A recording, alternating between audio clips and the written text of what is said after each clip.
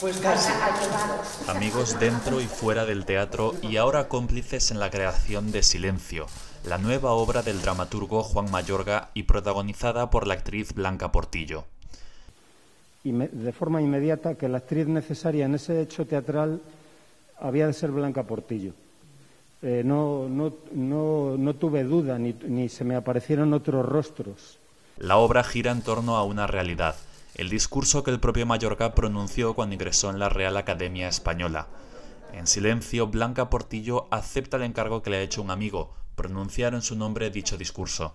A la hora de la verdad, la actriz entra en conflicto con lo que ha de decir y con la situación en la que ha de pronunciarlo. Surge un enamoramiento, obviamente, ¿no? A mí el texto de, su discurso me parece no solamente una declaración de principios y de amor al teatro, sino una manera, un cristal a través del cual puedes ver la vida de una determinada forma. El silencio como protagonista, no solo de la acción teatral, sino también en los espectadores y en la vida. La obra surgió como idea en el confinamiento y es ahora cuando se hará realidad. Silencio se estrenará en el Teatro Español el próximo 7 de enero.